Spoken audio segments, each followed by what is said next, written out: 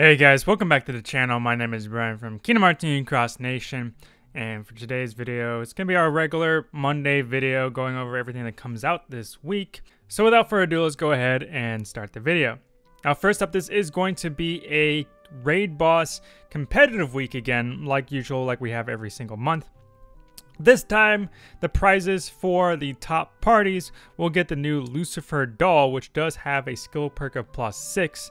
Now, this isn't the greatest thing in the world, just because of the fact that there's already tons of dolls, the ones that like fit on your shoulder, like Lucifer here, uh, that provide the same exact skill perk of plus six. So really, the only reason to chase after this is like you really like Lucifer for some reason.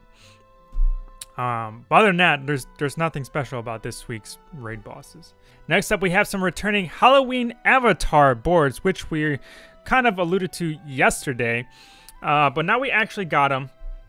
And in case you don't know we are, uh, we got some of the like uh, Arabian Jafar ones. My bad.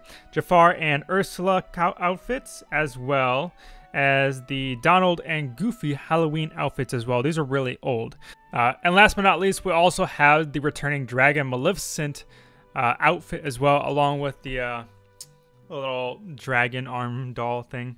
Now, out of all of these outfits so far, none of them are that special. The main things they're going to be taking a look at are going to be the actual new Halloween avatar boards instead, and I'll get to that in a second. So these are the new Halloween avatar boards. Uh, I thought this was like a Dragoon thing earlier, but apparently this is these are actually cats, which I guess kind of makes sense. Uh, to be honest, the only thing that makes me think cat is this tail. Otherwise, like, you can vaguely see the, the whole cat features on the mask. But anyways, we are getting a cat and a, like, werewolf uh, type outfit, okay? Now, the skills that come in these outfits are actually really good, and I'll go over those real quickly. So, for the cat ones, okay, they come with the uh, hands accessory that provides a plus skill perk of plus 8. Now, there's already a couple other outfits uh, for the hands that provide a skill perk of plus 8 already, but if you don't happen to have that, then this is going to be a great board for you. However, the main things that in this board are worth looking at are going to be the attack boost 6 max and Lux plus plus. That's a huge one for any Lux Raiders out there. The defense boost 6 is pretty good.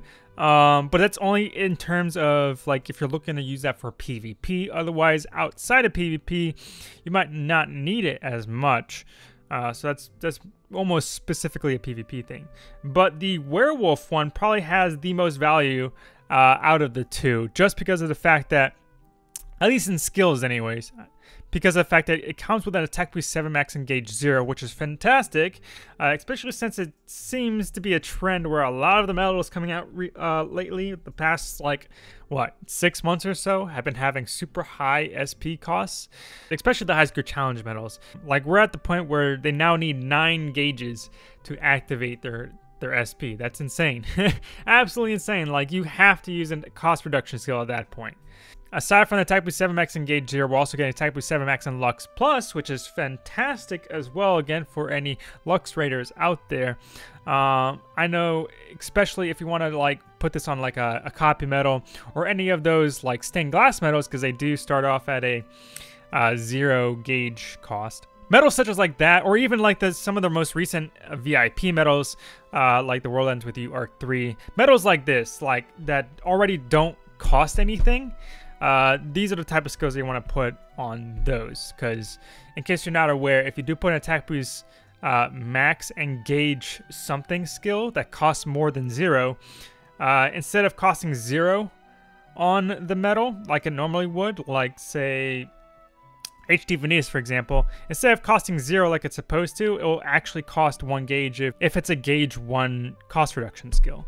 Uh, so that's always one thing that's kind of hmm, so Attack Boost 7 Max and Lux Plus is great for those type of medals, as well as the fact that it also comes with more copies of Attack Boost 4 Max, which is pretty much absolutely required if you want any type of chance to get in the higher uh, tiers of PvP. Even if you have the best medals in the world, if you don't have Attack Boost 4 Max and you're only using Attack Boost 3 Max instead, it's going to significantly lower you uh, in the rankings. So in terms of value between the two of these. Uh, the werewolf definitely has the most value, and they are 2,500 jewels apiece. Next up, like I mentioned before, we are having a competitive raid week again, but this time you can also receive the Lucifer tail avatar part. Now, as far as I'm aware, the Lucifer tail doesn't actually do anything. It's it's it's literally just an accessory for looks this time. But next up, they have updated the event coins Defeat Heartless uh, event, and they included another 20 uh, quests, I believe. Yes, 20 quests. Uh, I've already completed these. The last 10 quests definitely become very challenging. Uh, some of them where you are actually required to have minus 60 traits in order to like do any damage to them. So if you're looking to try to complete some of those quests, be aware of that. Uh, there was only about like two or three quests where that was actually required, but those can still be roadblocks if you don't have those traits. Next up for this week's VIP deal, we are getting more golden tickets like usual. Uh, for purchasing this week's VIP, you'll be able to get it next week on the 22nd of October. Uh, but aside from that, we are getting the new Vanitas Remnant B medal along with 1400 jewels, just like usual.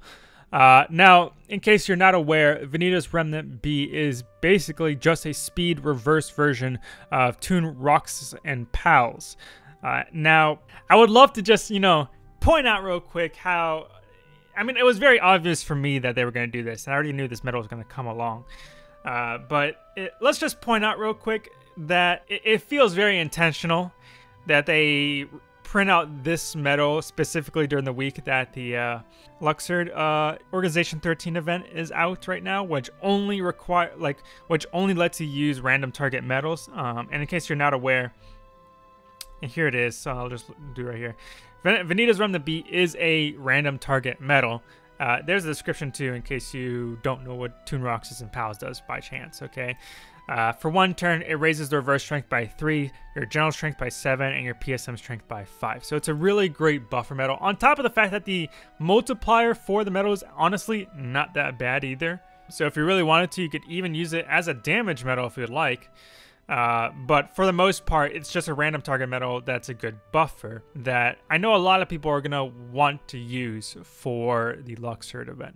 But aside from that, we are getting the usual magic brooms and magic mirrors, as well as the gems for VIP. Now, the last thing I want to talk about for today's video is going to actually be about uh, something that was released in the JP version of the game today which is where they kind of did a new campaign, uh, and I'm hoping and partially expecting that this might come sometime fairly soon, maybe even tomorrow for the global version of the game, in which case they're actually providing a new way to receive some golden tickets in the form of kind of like a recruitment campaign in a way.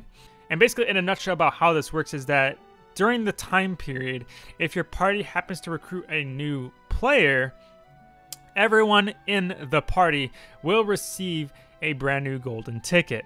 But there are some criteria as to what exactly is defined as a new player. And they specify in here that someone with a new player has to specifically have an ID that is greater than 3,874,052. Has to be greater or equal to that number. As long as the person's player ID matches that or is greater than that, that person will count towards the new player aspect of the campaign. Uh, now, just keep in mind as well that the golden ticket thing is not a gold ticket for each new person that fits that criteria. You can only get up to one gold ticket uh, for up to one person max. Okay, so even if you invite an entire party of 30 new people, you're still going to get one gold ticket. So just a little disclaimer out there you can't go abusing uh, the system like that but other than that that was it for today guys just wanted to keep you guys updated on everything that's coming out just like usual but I would love to hear your guys' thoughts and opinions on everything that's going on for this week in the comment section down below. Uh, if you enjoyed the video, please leave a like, subscribe, and hit that bell button. It is the best way to know when I upload more videos such as this one. My name is Brian from Kingdom Hearts Cross Nation, and I will see you guys in the next video. Peace.